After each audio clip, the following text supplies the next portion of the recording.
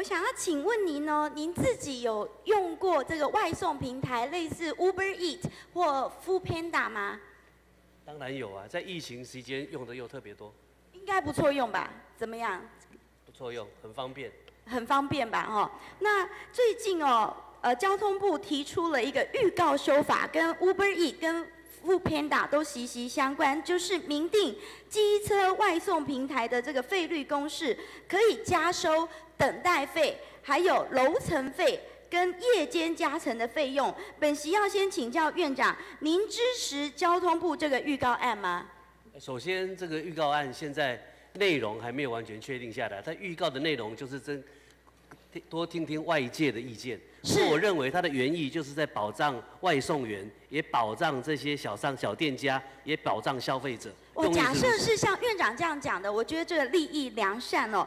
虽然现在还没有明定这个价格，但是呢，根据哦工会的估算，这个结果大致上为是每趟基本的运费六十元，每个楼层加五元，夜间再加二十元。那当然，我我相信哦，不管是院长或是部长，都是想要照顾这些基层的这些外送员。但是呢，如果这是一个好的政策应该大家都要拍手鼓掌。可是呢，目前为止哦，本席这边收到，不管是外送平台的主管，不管是这个外送员，甚至消费者哦，都有一些呃杂音哦。这一点我想要提醒交通部，可能要尽速的去呃吸收这些呃意见团体，包括他们本身是呃这个利，等于是他们。自身利益相关的这些团体哦，听听他们的意见哦，因为呃，本席提供你一个雅虎正在做的这个民调哦，这份民调短短五天内有超过十一万的这个填答者，代表民众真的非常的在意这个草案。那由于目前呢，工会提出来的这个涨价哦，算是涨幅非常的多，有八十八 percent 的民众表示说，未来每笔这个外送并这个运送费哦，调涨六十至八十五元，他们会减少使用，而且甚至可能考虑不再使用外送。那所以呢，这个部分哦，澄清的有外送平台、有外送员，包括餐饮业者跟消费者。您知道，如果假设哦。这个不是他们推动的，他们对这个状况毫无所知哦。包括外送平台本身也说，他们真的不晓得会发生这个事情。那外送员认认为说，市场有它的平衡机制，如果涨价没人点，单数变少了。他的收入也会变少，所以间接也影响到了外送员的权益哦。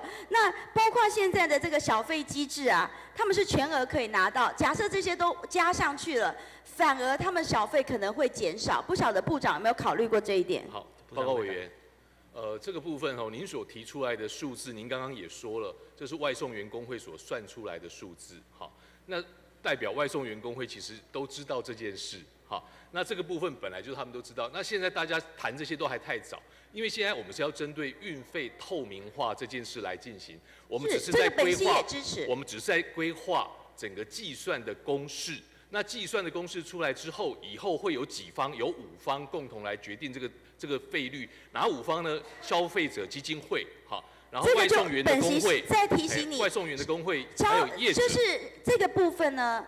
因为你们在之前都没有跟他们有讨论，包括十六号下午你们才紧急发通知给这个呃消基会，说希望他们十六号早十七号早上来开会，他们就拒绝了，因为太仓促了，简直就是为了你这个要紧急上路急救章在做的挽回的一个措施。那本席要提醒你的是，本席要提醒你的是，这个草案就跟班班有。有鲜乳一样的翻版，缺乏沟通，不够接地气，这简直就是在办公室里面哦想出来的政策。那一开始在公告这公告这个修正草案之前的会议，根本没有任何消费者团体的声音，所以十六号发文的，就是为了挽救嘛。所以提醒你，提醒你一定要重视，否则你这样子等于是。潦草的上路的话，影响了非常多，影响的非常多。好，那接下来呢？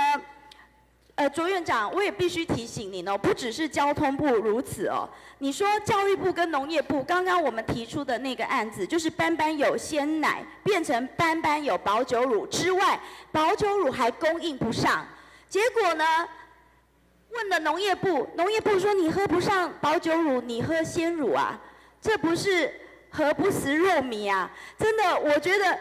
荒唐到了一个极点。我们其实本意是要照顾弱农，结果不止没有照顾到弱农，还排挤了小型的弱农跟养乳的弱农哦。所以包括说经济部长说他要从菲律宾买这个绿电用海底电缆接回来等等，希望说呃卓院长哦可以呢鼓励这些阁员哦，真的是贴近民意啊，不要再就是呃。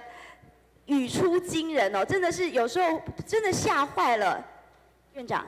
我希望大家的创意都要经过非常合理深入的讨论，而且在讨论的初期，如果还没有广泛跟外界有沟通，不宜把任何的意见快速的向外界来宣布或是透露出来，这样会造成大家的不安。但是我认为所有的原他的创意的原意应该都是好的，那我们愿意这从这个方向来，大家更。呃，理智、理理智同意，就是你有发想很好，但是你要有一些成熟的方案在对外宣布，否则实在是呃会当人家觉得有一点荒腔走板，而且政策反复，一下子说这样，一下说那样，隔天又说道歉十几次，说他只是在发想阶段，我觉得这样子会。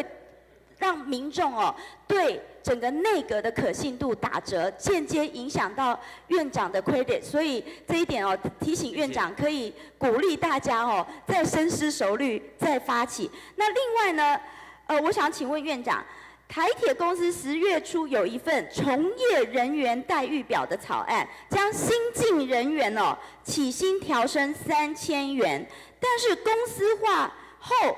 原任的一万多名员工待遇似乎都还没有更改，请问这个是否属实？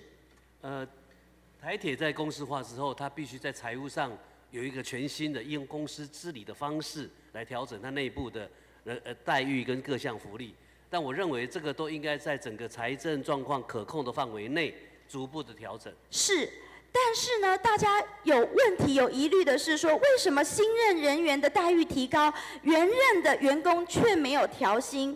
如果有没有估算过说，为什么只有调新进人员，然后如果全体调要提升多少呢？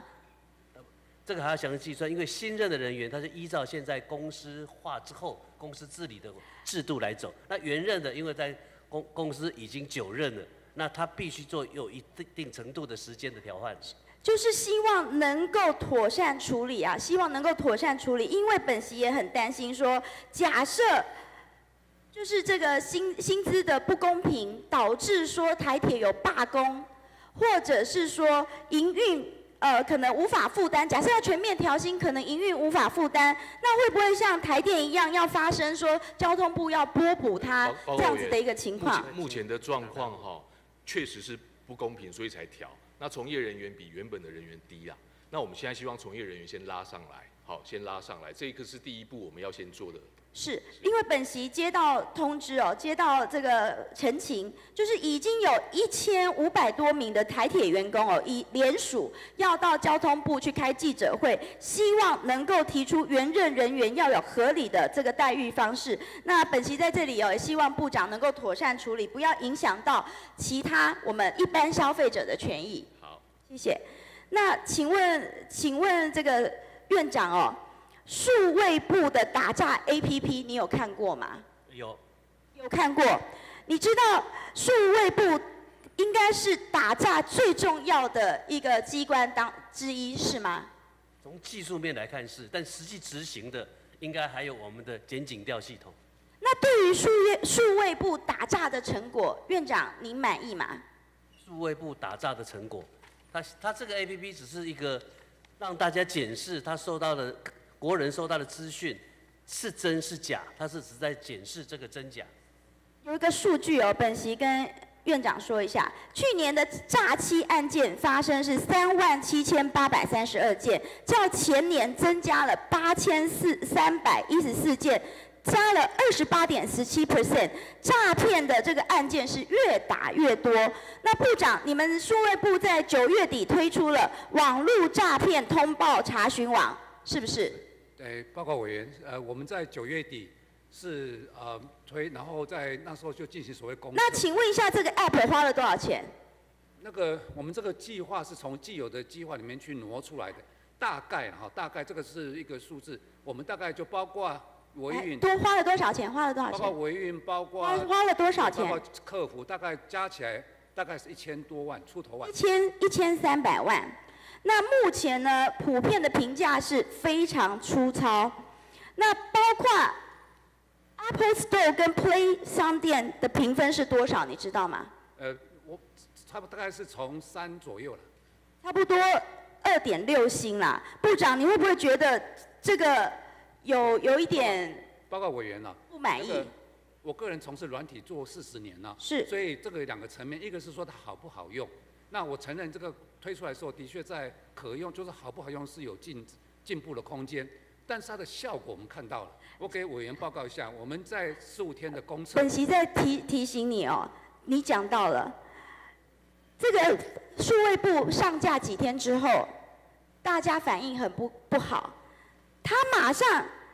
就下架了。报告委员，他这个诈骗通报网，他说这个是公测，App 是公测，就已经完成了阶段性任务，所以你一千三百万十五天就把它用完了，你就把它花了，就把它下架了。没有，我们会在上架，会在。我我我的我的老天啊！我真的是吓吓一跳，诈骗通报还需要公测？当然而且你只用了十五天就把它下架了，我到底看到什么了？你们公测了什么？你们公测了什么？你们完成了什么阶段性任务？包，因为我们原来就是要收集一万个民众的 feedback，那这个我们收集到了。那所以我们那请问还有第二阶段的公测，第三阶段的公测，是不是反正只要做不好，就说是公测就可以下架？报告委员，我们但是如果数位部做不好，你也是可以说是数位部是公测啊，数位部也可以裁掉啊。我们在上去的时候就已经说这叫公测版。所以并不是后来才说的。就是另外一个更严重的问题，本席在下架前就已经下载了，目前还可以截图，请看这个昨天的截图。就我们打诈 App 自己声称说用 AI 去寻找诈骗资讯的档案，结果全部都是色情广告，全部都是色情广告。你觉得这个？是数位部想要达成的目标吗？所以就是我们在讲说，我们第一个公测的目的就是找出这些问题，然后我们在下个阶段。数位部，请你们加油！会，真的拜托你们了，因为这边我我只要求他有三个方向一定要做好，第一个要精准，这个是是诈不是诈要精准告诉国人。第二，如果他有问题，我们要一个通报系统的连接，让国人因为。指出他的这个网站有问题之后，他可以进去通报，详细来说明他被骗。本席也这样期待。三个是这个 app 必须要非我想这是院长跟本席共同的期待，所以部长您真的要加油啊！会没问题。是这个钱就好像撒了十几天就花了一千多万，结果还没有成果，搜寻到了全部都是色情广告，这合适吗？报告委员，团是从。从五月到十二月的预计要花。抱歉，因为我时间有限，我想要接下来再问一下地方建设哦，就是院长，我们这个斗六铁道事故频传哦，到目前为止哦，呃，今年九月两则，五月好几条人命哦。都没了，所以针对斗六铁路高架化一案哦，本席今年哦也邀请了会刊多次，最终已经解决了取率半径、效益评估跟临时平交道的三大关口，让斗六铁路高架化可以败部复活，这是斗六人已经期盼了二三十年的梦哦。但是院长真的很需要您的帮忙，因为呢。县府哦，把这个案子可行性评估哦送出去之后呢，已经四个月了，就是到目前为止哦，都还没有审查，所以是不是可以拜托院长指示交通部哦，尽速的开审查委员会？因为这个审查拖一天，就有越多人民的生命哦受到威胁。请问一下，这个审查期程大概还要多久？部长您您可以回答吗？呃，目前哈，我们已经送到部了，铁道局那边已经送到交通部了。那我们那个交通部最近会来开审查会议。最近大概多久？哎，我要跟内部再讨论一下。是一个礼拜、三个礼拜，还是三个月？我跟内部来讨论一下。竞速好不好？因为你加快骑乘，你是在保保障我们这些人民的行车安全啊。